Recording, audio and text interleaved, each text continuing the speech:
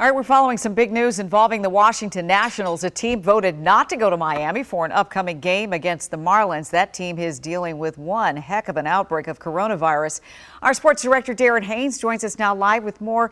D, this is not a surprise. This was kind of coming, right?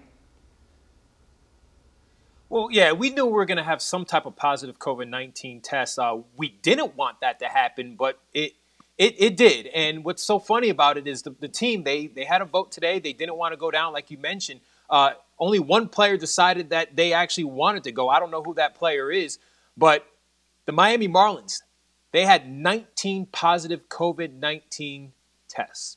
Yep. And because of that, Major League Baseball has now put their season on hold. The same goes for the Phillies. Now, for Nats manager Davey Martinez, he believes Major League Baseball putting their season on hold was the right move.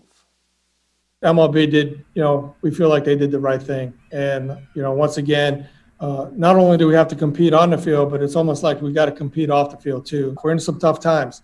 Uh, we're, we're trying to play through a pandemic. You know, what happened to the Marlins, we, I don't wish that on anybody, um, but it happened and it's real.